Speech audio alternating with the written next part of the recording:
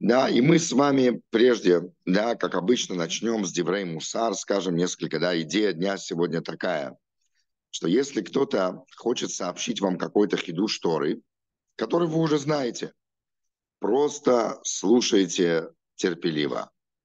Потому что это гордыня прерывать человека и говорить ему, о, я это уже слышал, я знаю этот Раши, я уже слышал это. Да, более того, слова мудрости всегда стоит послушать еще раз. Так пишет Сефера Хасидим. Да? То есть э, никогда не знаешь, да, что-то новое можешь услышать, какой бы хидуш не был. Да?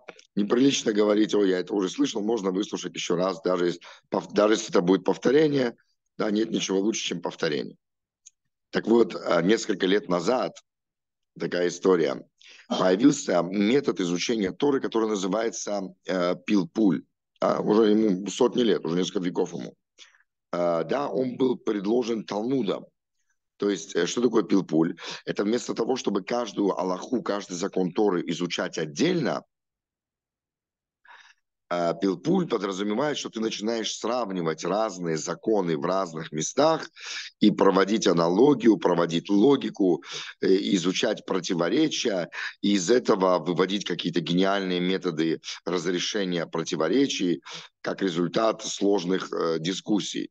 Да, это называется пилпуль, очень признан в мире ешив, среди ашкенадских ешив очень сильно признан. Однако Многие талмудические авторитеты, да, они говорили, что Пилпуль, э, как бы, да, они выступали против Пилпуля. Э, да, сифатский метод, да, изучать да, Ремигаш, великий ученик, один из, да, э, был Ремигаш, основа, основа Аллахи, да, Сфарадим. Он как-то э, получил письмо, сейчас вспомню эту историю, да, я слышал ее от Рава Биримбоема, когда ходил на его уроки, да, в Марину Рощу. Так он однажды получил письмо, в котором было написано, что Рав у нас говорит, «Ну, поменяйте нам Равина. У нас Равин говорит, э, каждый раз, когда ему задают вопрос, пытается найти ответ в книге, да, а он вообще не в состоянии логически сам вывести этот закон из того, что он уже знает. На что Ремигаш ему сказал, я должен вам сказать, у вас прекрасный раввин. Потому что если он не знает и каждый раз смотрит в книгу, то вероятно, что он ошибется, есть. Может быть, один из десяти, два из десяти. А если он будет полагаться на свою логику и выводить согласно логике законов, то тогда он будет ошибаться 9 из 10 или 8 из 10. Да, то есть, видите, была вторая, как бы наоборот, учи прямо. Когда сам начинаешь думать, ты не Тана, ты не Амурай, чтобы, да, это очень непросто такие вещи делать.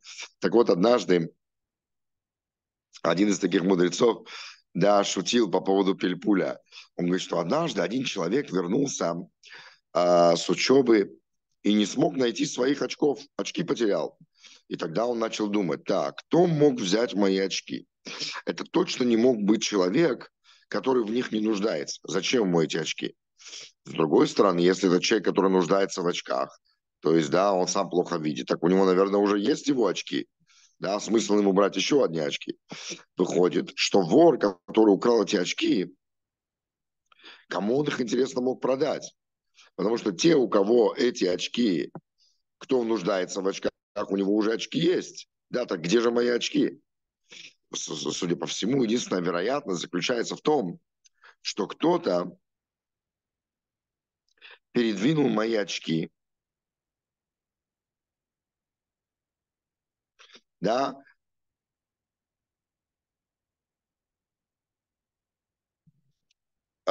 что кто-то, да, возможно, взял мои очки, поднял их у себя на лбу и забыл, что их поднял. Более того, да, когда он продолжал рассуждать, возможно, я сам тот самый человек, который задумался и свои очки просто поднял на лоб, они у меня на лбу, да, я про них забыл.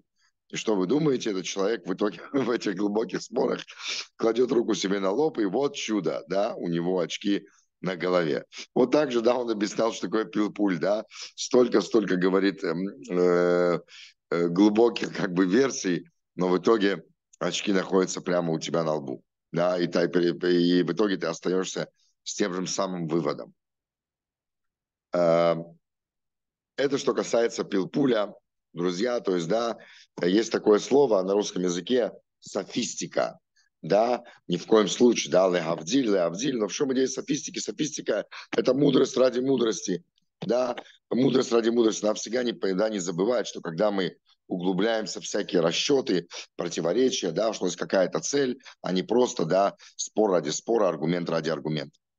Окей, друзья, у нас новая тема, мы изучаем Симан Шин Юдалет, и он посвящен, да, распаковке.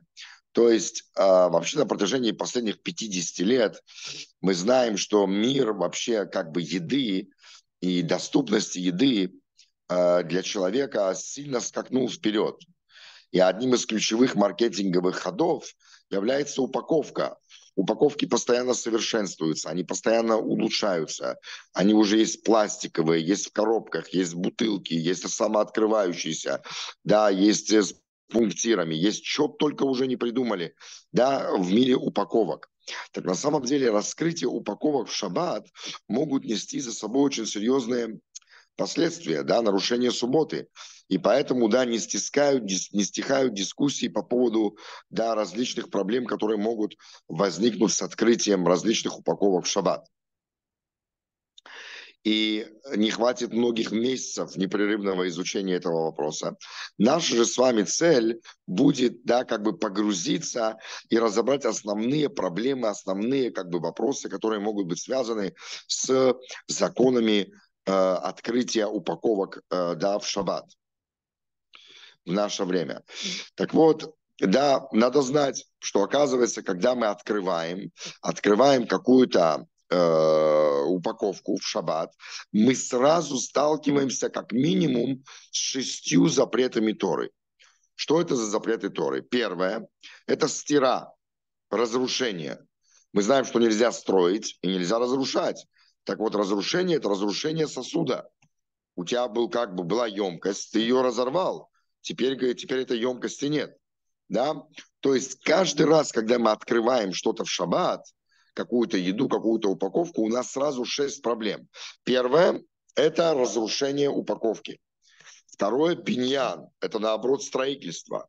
Потому что, открыв упаковку, ты делаешь сосуд. Теперь у него есть горлышко. Его можно вторично использовать. Это, наоборот, биньян. Возможно, ты что-то создал. Третья проблема – асьят петах. Когда ты делаешь отверстие, само по себе это называется тикун кли. Ты улучшаешь, улучшаешь сосуд. Да? А улучшение сосуда само по себе это да, а, а, само по себе это называется Макебе Патиш, последний удар, мы с вами учили.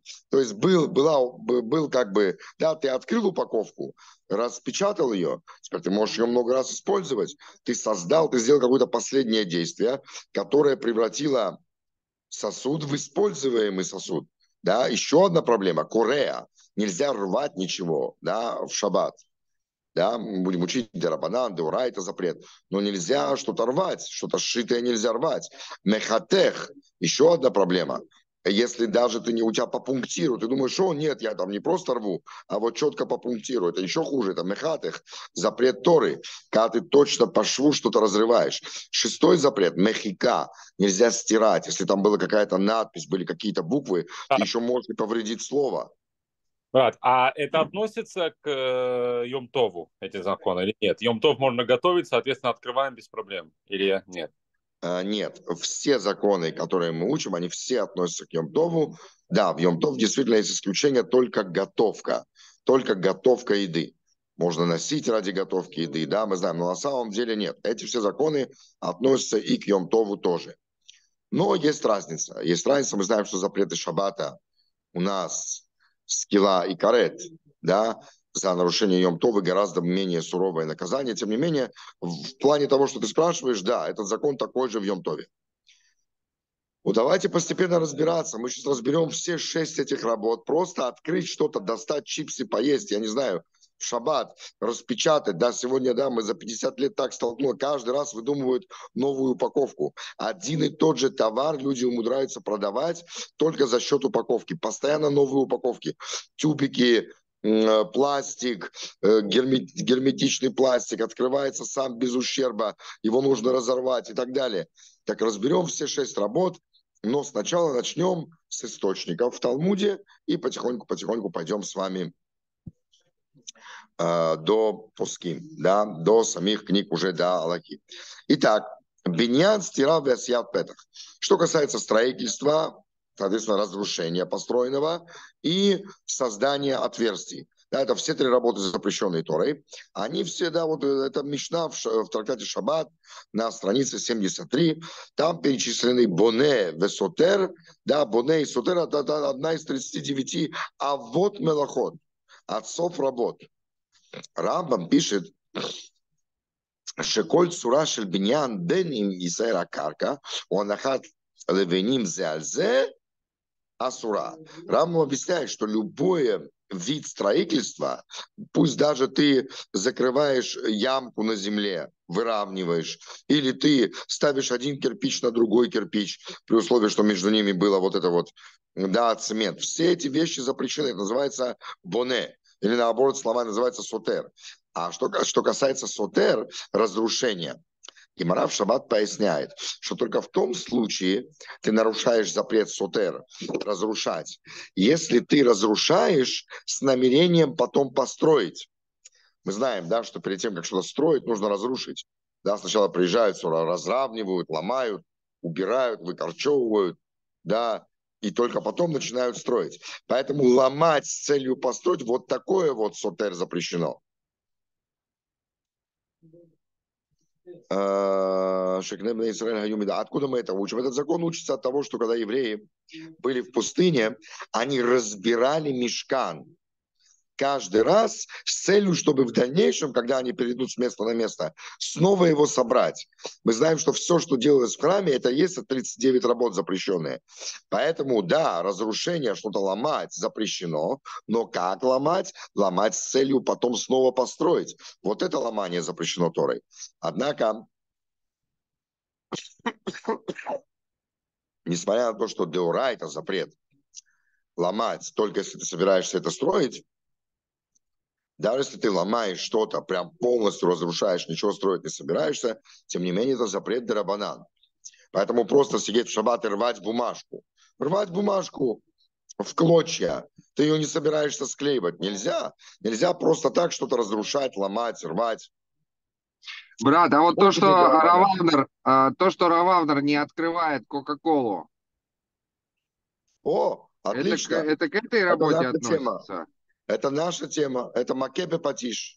Ой, будем в это вникать, как делают на заводах, в зависимости от того, крышку накрывают и впечатывают, то есть она никогда не была крышкой, или она была крышкой, потом ее как бы насаживают. Будем все это учить. Да, да, это наша тема. Наша тема распаковка бутылок, э, пакетов, коробок, э, пластиковых контейнеров, железных каких-то емкостей. Все виды распаковки в шаббат, да, вот это то, что мы с вами сейчас разбираем. Ну, давайте начнем, да, сначала. Вы сказали, что первые три, это, оказывается, в этом есть какая-то стройка, есть какое-то разрушение, есть какое-то создание отверстия. Вроде бы разобрались. Биньян, строительство, любой вид строительства запрещен. Стира, по только если ты разрушаешь, чтобы строить. Теперь, Аима Исур Шельбиньян Вестира Такев Гамлига Бейкелим. Но, когда мы говорим про строительство, когда мы говорим про разрушение чего-то, речь идет про стройку, но не про сосуды, не про чайник, не про какие-то вещи, да, или нет. Или имеется в виду не только дом построить, разрушить, но также и любой какой-то предмет. Так это сама по себе дискуссия. Гемора в трактате Шаббат на 122-м дафе Амудбет приводит слова Ровы, который говорит «Эйн биньян кейлим». Нет такого понятия, как э, строительство и разрушение в сосудах да, но Раши там же, да, э, нет, Раши в трактате Шаббат на 74-м дафе Амудбет, пишет, Клаль зекил шоно шейн колесур шельбоне, умемейла сотер бекейлиим. Да, он так и пишет, что нет, нет никакого запрета строительства боне и нет запрета сотер разрушения в сосудах, в предметах, Зугам дата Рашбу. Также считает и Рашбу, также считает Ритва, также считает Орзаруа, также считает да, однако, многие так считают, но тем не менее Тосфот, Тосафот, Трактате Шаббат спорит с этой точки зрения и считает, что правило, что нет биньяны стира в отношении других предметов, кроме как реально глобальной стройки, относится только к тем сосудам, шебеофен тмидимит барким, которые по своей сути постоянно разбираются и собираются. Вот действительно к таким сосудам не относится, это не называется ломать и строить.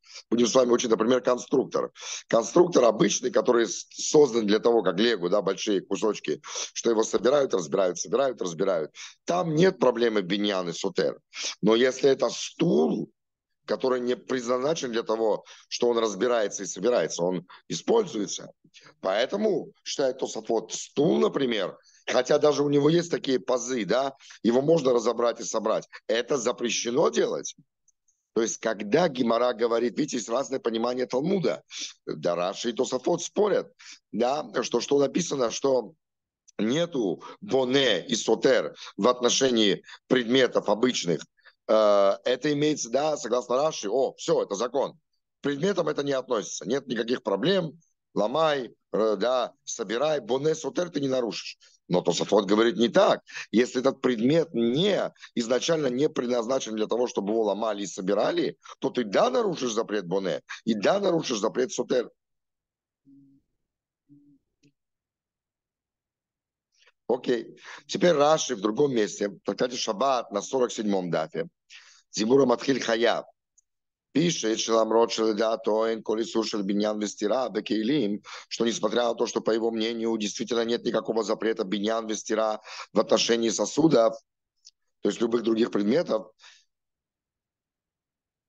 потому что а, запрет относится только к вещам, которые непосредственно да, они э, присоединены к земле. А фундамент закладывать дома нельзя, строить дом, вот и такие вещи нельзя. А остальные вещи можно. Тем не менее, пишет Раши, Еш и Сурахер.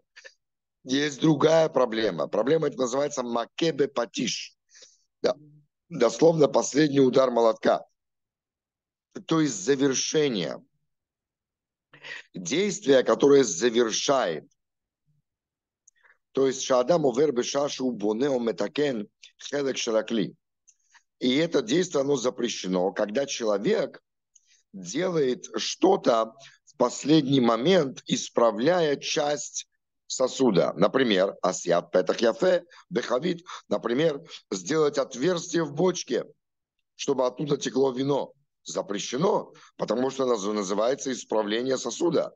Так у тебя была бочка запечатанная, а когда ты сделал в ней, в ней отверстие и вставил туда кран, у тебя теперь, как называется, самовар, я не знаю, у тебя теперь э, совсем другое устройство. Получается, ты не просто сделал дырку, нет, ты превратил в бочку, в бочку с краником, да, теперь оттуда идет вино. И это Брат, ну, запрещено. Пользуешь для еды, открываешь, нет проблем, правильно я помню? О, подожди, подожди. Потом будем учить, да, для еды, не для еды. Есть проблема. Да, не, не обязательно, что ты делаешь для еды, каким образом ты это делаешь. Может быть, стоит что-то изменить каких-то вот вещах есть коробка, можно чего-то избежать. Коробка печенья, тебе нужно его открыть. Есть такая картонная лента, которую ты тянешь, грубо говоря, по периметру, и коробка открывается. Либо тебе нужно открыть ее физическим путем, как-то ее разорвать. Есть? Вот, вот, вот. Вот, брат, это все будем учить, не будем сейчас забегать вперед. Мы хотим начать с самого начала. Мы увидим, что вот эту ленту по пунктиру не надо тянуть. Это пятый вид работы, мехатых. Это точно по пунктиру. Это гораздо хуже. Если ты застрял в туалете, и у тебя нет туалетной бумаги, уже нужно рвать туалетную бумагу, выхода нет, рви ее, но хотя бы рви ее локтями, мы сказали, не по пунктиру. По пунктиру это, возможно, два нарушения запрета Торы. По пунктиру еще хуже. Поэтому надо разорвать, разодрать эту коробку в клочья.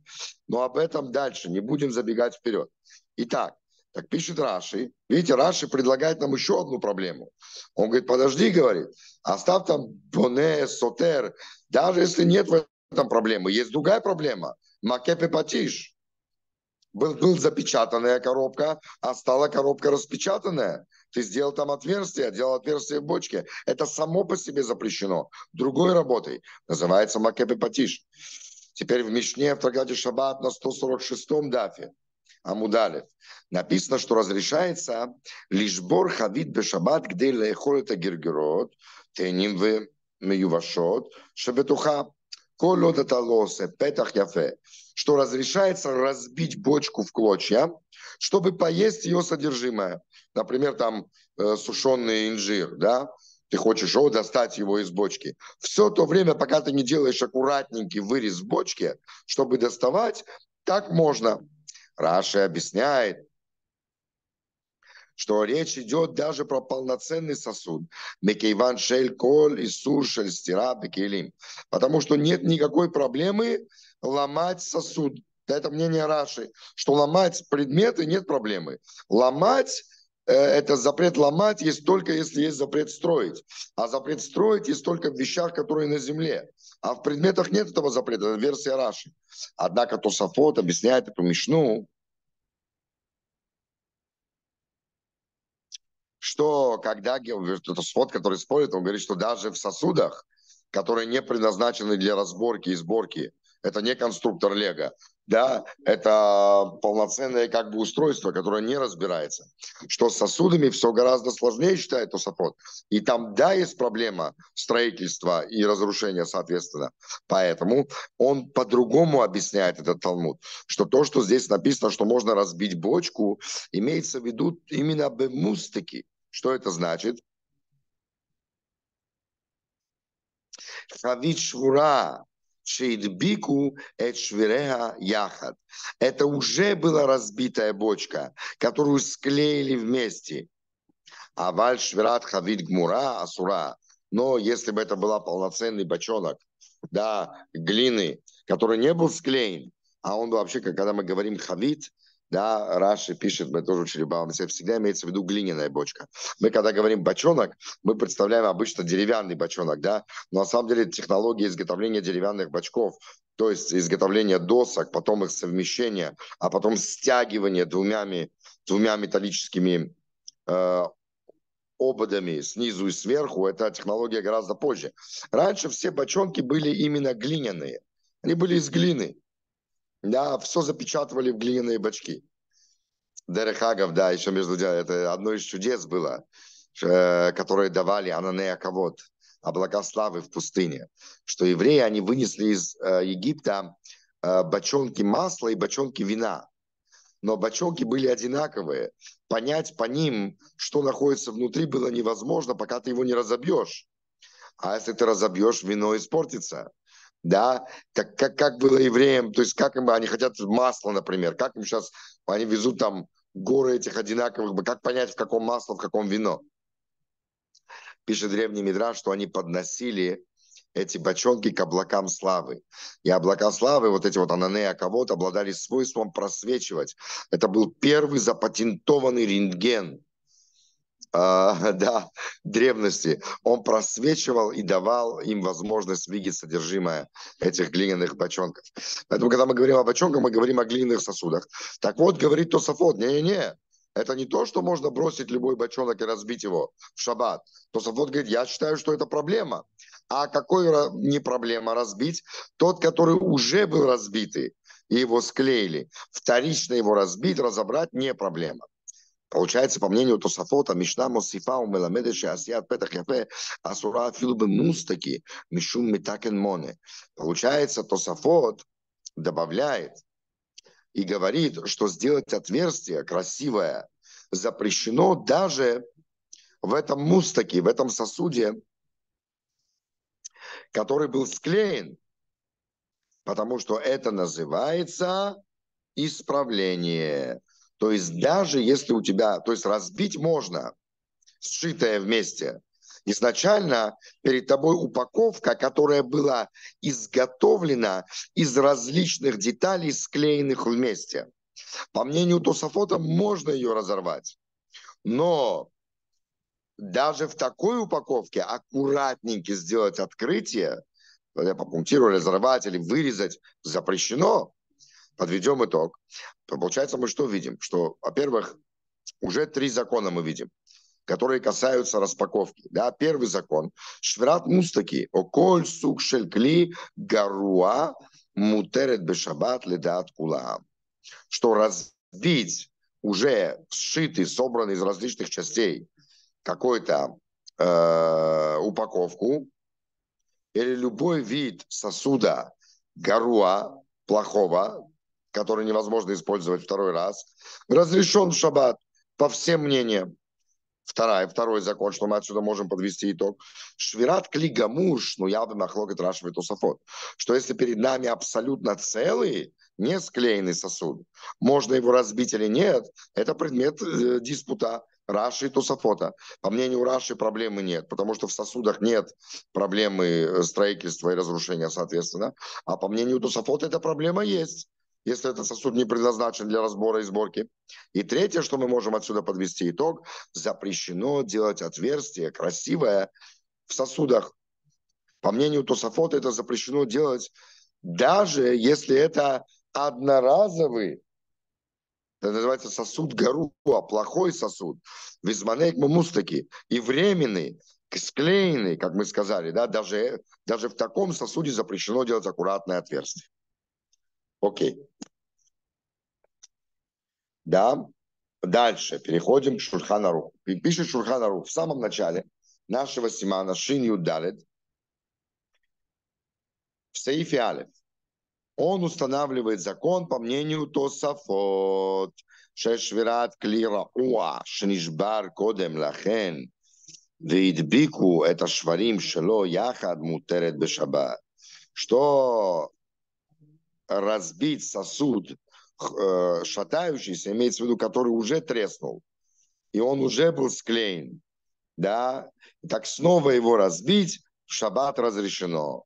מפני שאיסורי סתירה, потому что запрет סתירה, разрушения ובניין, строительства, э, они применимы только к сосудам прочным и цельным. Окей, первый закон. Это уже Алаха. И Мишна Брура в סעיף קטן ז, она приводит мнение Виленского Гаона, который тоже, который наоборот устанавливает закон по мнению Раши. Шафилу швират кли хазак, эйну суртурашин сотер. Нет, он говорит, даже цельный сосуд спокойно можно разломать и разбить, чтобы добыть содержимое. Да, потому что нет никакой проблемы разрушения и строительства в сосудах. Это касается только вещей соединенных с землей, как мы говорили. После чего Шурханарух добавляет вторую часть Мишны касательно создания отверстия, да, что это запрещено, даже если это был э, одноразовый, да, э, разрушенный, склеенный какой-то сосуд, мишум метаконмоны, потому что это уже называется э, исправление. То есть какой бы сосуд у тебя не был, если ты делаешь в нем аккуратное отверстие, ты превращаешь его в бутылку. Да, ничего себе, да. И пробка, теперь ты создаешь новое совсем другое. Это уже у тебя чайник. Так это у тебя была запечатанная коробка, до содержимого не добраться. Тут ты сделал отверстие, теперь это у тебя удобный сосуд для разливания жидкости. Там, да, э, или для хранения чего-то. Это называется метакен моне. Так вот, это Аллаха Муват Габбем Шех Бесейф Вав. Еще раз в Сейфе Вав это Аллаха повторно приводится, однако чтобы нарушить запрет Торы по созданию отверстия, необходимо, чтобы человек, Ясе Бекли Гамур Некеверауй, сделал э, в цельном сосуде необходимое отверстие, ляхнис через которое можно легко доставать извлекать и класть обратно. Шемешамеш бейн лахнасад дворим леклиу бейн, чтобы можно было теперь использовать, как класть в этот сосуд что-то, так или извлекать из него что-то. О, теперь вы поймете, почему проткнуть иголкой, да, почему Рававнер не может открыть бутылку, а если проткнуть иголкой, то он может открыть бутылку. Да, има негав мешамеш рак Но если это отверстие, оно не способно, оно может только помочь с извлечением того, что внутри, но не способна помочь, чтобы что-то туда добавить, а сурла сутоми дирабанан. Тогда запрет уже только от мудрецов. Да? Попробуйте налить что-то в эту дырочку, который вы сделали вилкой в бутылке. Это уже запрет только мудрецов. Вот пасак Шурханарух, и поэтому еще добавляет Шурханарух. Там в сейфе ват. Шима дам сирли гамрейт роша хавит. Если человек полностью сорвал э, крышку бочки, Эйновер лейсур шель асьят петах. «А э, и не инену ласот петах яфе. рау или шимуш. Хозер, рак шиу яхолю идти этот холит мяхавит бекалут. Поэтому если человек мечом отрубил голову этой глиняной бочке, да, так проблемы нет так поступить, потому что очевидно, да, что человек хотел только извлечь содержимое, он не планирует пользоваться этим в дальнейшем сделать аккуратную дырочку, чтобы пробкой закрывать, открывать, чтобы добавлять и извлекать. Вот это запрещено. А если он срубил просто верхушку, так это только для того, чтобы извлечь содержимое, а не для того, чтобы использовать вторично. Поэтому это будет разрешено. И более того, запрет сделать отверстие такев раким зе хайта кавана. Э, да, существует только если в этом и было твое намерение создать, сделать отверстие для многоразового пользования. Однако, если да, человек в мыслях не держался сделать такое отверстие, разрешается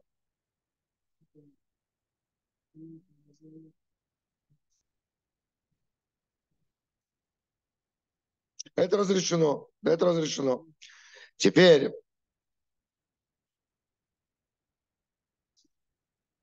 Поэтому, да, современные пуским законодатели, они ломают голову, пытаются, да, понять вот этот закон, а именно, а им хааризот шелану, упаковки наши современные, они рассматриваются как одноразовые, которые нельзя использовать вторично.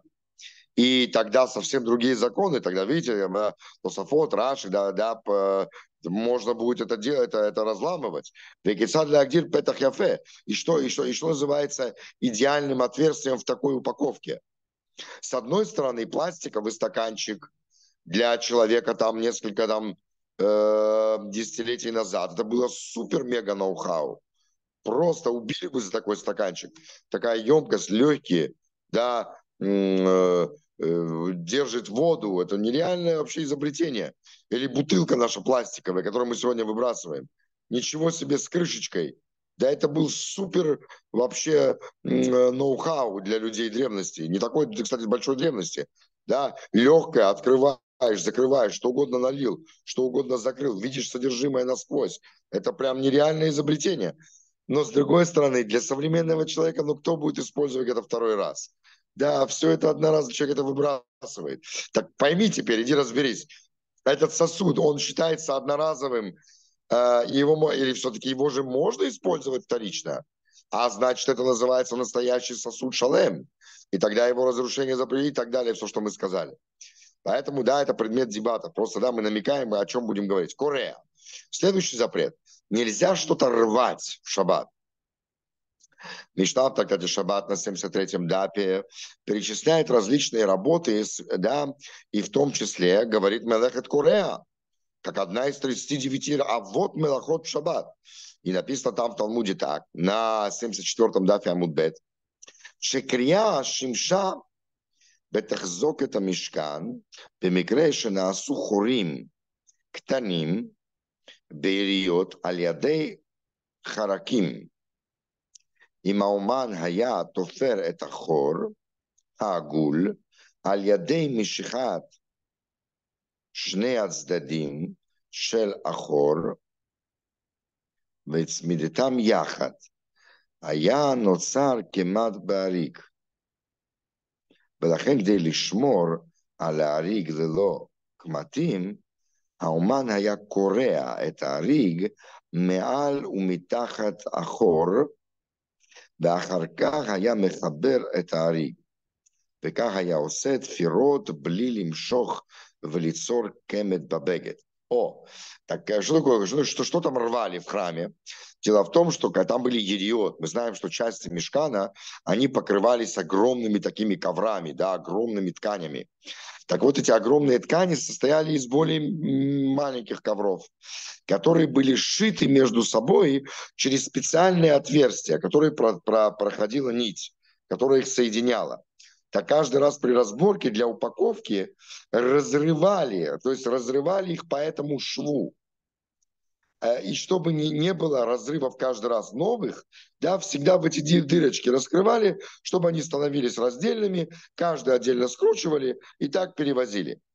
По этой причине Мишна Бешабат говорит на 105-м дафе Амудалев Шекрия Сурами Натура, что запрет разрывания – это запрет по Торе. Раким Кваната Адам Лазор Литфор Эшнея Хелаким Яхат. Но только при условии, если человек разрывает что-то с целью сшить это обратно. То есть, видите, в мешкане они разрывали с целью снова соединить. Так же, как в мешкане это запрещено Торой. Поэтому разрывание сегодня запрещено Торой только если ты рвешь для того, чтобы шить. Знаете, как в той притче, как человек пришел и дал дорогую ткань портному, чтобы тот шил ему костюм.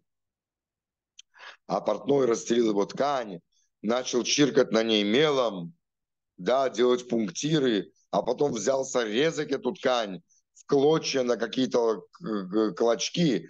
В ужасе, да, начал кричать хозяин, что ты делаешь? Что ты делаешь, да? Зачем ты такую ткань портишь? Он говорит, глупец, говорит, на половину работы не смотрят. Если ты хочешь что-то сшить, нужно сначала это разрезать. О, вот это самое разрывание, вот оно запрещено Торой. Разрезать с целью потом пошить. Обычно так всегда производят работы. И саму, как бы, да, э, процедуру, как это было устроено в мешкане, мы с вами описали. Так, э, продолжает дальше, да. Рамбам пишет, Шекрия сурами атура им адам нагенема акрия бехоль сураши. Рамбам говорит, что человеку запрещено что-то рвать, если он получает хоть какое-то удовольствие от того, что рвет. А филу и махар лотофер, это халаким яхат. Даже если он не намеревается потом эти кусочки сшить, но по какой-то причине ему доставляет выгоду то, что сейчас он это разрывает. Например, Миша Курея Бегет Б. Касо человек, который рвет одежду в гневе. Вообще, какая у него польза от того, что он рвет? Никакой пользы. Но он хочет выплеснуть гнев, и он рвет одежду, даже такая крия, у нас такая мецва крия, да, мы разрываем одежду при виде, например, стены плача, если не видели ее 30 дней, да, разрушенные там синагоги святых мест, да, вместо храма, да, нужно разрывать одежду. По умершему, когда мы услышали Рахман Алислам, да, разрывают одежду. Мецва крия. Так вот, э, такая крия тоже запрещена. Филу на харках, да, это, причем это запрещено деорайта, торой. Микиван крия мишамешет оток дейли ашев ато. Потому что он извлекает выгоду. Таким образом, он выпускает пар. Да, он успокаивается. Поэтому нельзя. Минхат хинух добавляет. Шайсур шель курея ветофер шаях рак бехомарим рахим что запрет рвать или сшивать, соответственно, да, так же, как разрушать и строить, да, это, это э, как бы, да, это противоположности. Если запрещено строить, значит, запрещено ломать с целью, чтобы строить. А запрещено сшивать, запрещено раз, разрывать с целью того, чтобы сшить обратно. Шахрах бихумарим раким. Но Минхат Хину говорит, что проблема разрывать что-то – это только каких-то мягких приметов. Например, тканей, да, как было в храме, в мешкане. Аваль, бишвират, хумарим, кашим, но разбивать какие-то твердые предметы, как, например, банки, консерву, да, разорвать металл. Эйнбая шелькурея. Там неприменим, нельзя сказать, что я порвал банку, да, я порвал железо. Там другие проблемы, сейчас как увидим, ты, возможно, создаешь от, отверстие, делаешь сосуд, да, если ты закроешь то, что ты открыл консерву, закроешь и потом наклонишь, чтобы сцедить жир и оставить внутри саму шпроту, ты нарушаешь бурер и много других каких-то... Но проблемы крия, что я рву, здесь нету, потому что, говорит Минхак Ицхак, это твердый материал, этой работы здесь ты не нарушишь. Продолжает Шурханарух дальше. и говорит,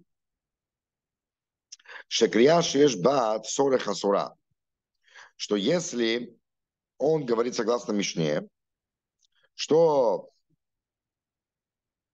если есть какая-то надобность в этом разрывании, то это запрещено. И Мишна Брура там тоже поясняет, шикрия ясу и сурм деурайта. Имата нехене акрия беколь дерех. Что разрывание запрещено Торой, если ты извлекаешь хоть какую-либо пользу, выгоду от этого. Все это Аллаха. А фину имен беда от халахзору литфор. Даже если ты не, не собираешься потом это сшивать как-то, да, тем не менее, в отличие, как мы сказали, от стира, разрушения, если ты ломаешь без того, чтобы построить обратно, это запрет мудрецов. Но если ты рвешь и не собираешься сшивать обратно, но этим разрыванием ты извлекаешь какую-то для себя пользу, просто рвешь от гнева, да, как сказал Рамбам, да, ты не собираешься ничего сшивать обратно. Тем не менее, ты нарушаешь запрет Деорайта. А филу эм бетат халазор Пеносав гам крия бедеракилкуля дайн асурами дарабанат. И даже если ты разрываешь просто в клочья, никакой выгоды ты не извлекаешь из этого, тем не менее запрет Дарабанан все еще остается. Мудрецы запретили просто что-то даже рвать бесцельно.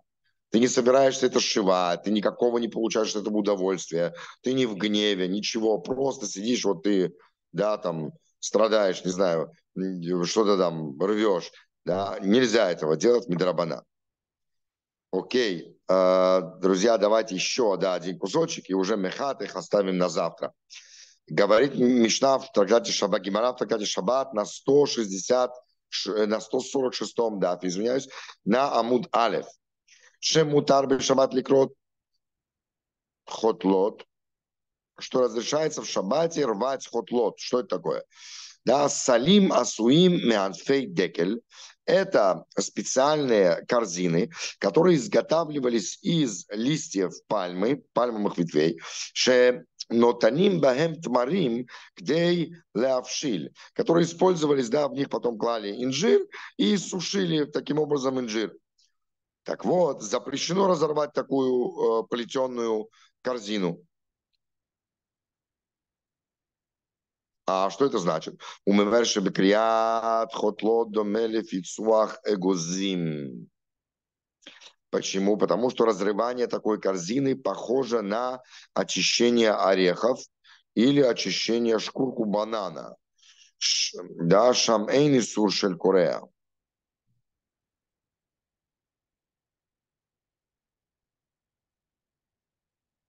Извиняюсь.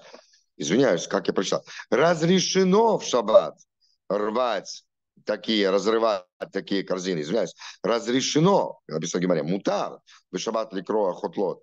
Да, потому что это то же самое, что добраться до сердцевины э, ореха или добраться до банана. Как еще мне есть банан, если я его не открою? Как мне есть апельсин, если я не сниму кожуру. Поэтому открывание такой упаковки, да, оно разрешено. Поэтому в эти корзины, в которые клали, они прям там сушились, сушили инжир, который был внутри, их разрывать, чтобы достать инжир, можно, говорит Гимара.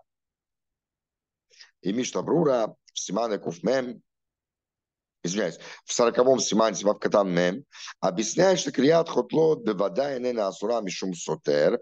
Тут точно нет проблемы открывания да, таких корзин не является проблемой с точки зрения сутер разрушения, потому что это не является да, завершенным сосудом. Это как бы да, точно одноразовая такая штука, она сохнет, эти листья распадаются. Это даже меньше, чем мустаки. Это даже э, более Эм, как бы, да, непостоянный сосуд, чем, как мы говорили, склеенный кувшин. אני דון שעוסקים בו פוסקי זמננו הוא האם האריזות והעטיפות שלנו נחשבות כמו חוטלות. Вот теперь, да, мы понимаем, о чем спорят современные пуски. Да, что в наше время,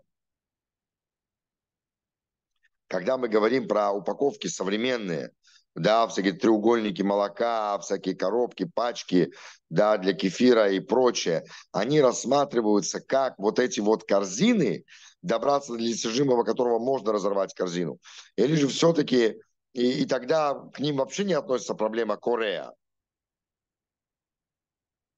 Или же они более постоянные и уже могут рассматриваться как нормальный сосуд. И это несравнимо с историей вот этими вот этими, да, корзинами из э, э, пальмовых ветвей. И тогда к ним, да, будет относиться проблема Корея. Нельзя разрывать. И, возможно, даже это проблема Деорайта. Потому что ты получаешь удовольствие от того, что рвешь, да, и открываешь это. Например, криат саки чипс. Например, открыть чипсы, открыть просто пачку чипсов. Саки шель Диганей Бокер.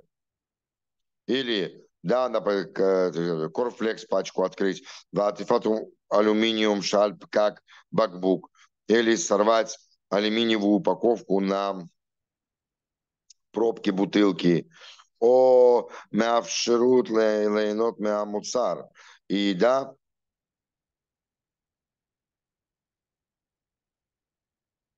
Ведь все это позволяет тебя, тебе получить удовольствие от содержимого. То есть, понимаете, мы сейчас с вами разбираем все эти шесть вещей, они в разных местах в Талмуде разбираются, и мы видим, как все эти работы с появлением сотен тысяч различных видов упаковок могут либо относиться, либо не относиться да, и мы все, все эти работы, они деурайта, они все одни из 39 работ. В каждой работе есть свое «но». А как мы рассматриваем, что это за сосуд, одноразовый, не одноразовый, да, засухнет, распадется, склеенный, не склеенный, да, но как рассматривать в итоге, что такое пластиковая бутылка? Что такое треугольный пакет молока? Или пачка кефира? Или пачка чипсов? Знаете, как бы, да, она легко рвется, но если реально использовать эту пачку, ее можно использовать годами. Если выбросить пачку чипсов, это наносит колоссальный удар природе. Природа это не переваривает. Это, этот пластик, да, с появлением пластика, он вообще вечный. Да, э, поэтому вроде как бы он совсем одноразовый, вроде как бы он вечный. Да, отсюда это будем разбирать. Окей, следующая работа мехатех да, рвать по пунктирам, это Безрат Ашем оставим на завтра, да, потом все шесть работ, чтобы мы знали, откуда растут ноги, когда мы будем разбирать конкретные примеры, с чем каждый может столкнуться в шаббат. Друзья, здесь мы делаем паузу, с вашего позволения. Я остается только пожелать всем хорошего дня и шаркоах. Оставайтесь с нами, а я с вами прощаюсь до да. завтра. И шаркоах, друзья.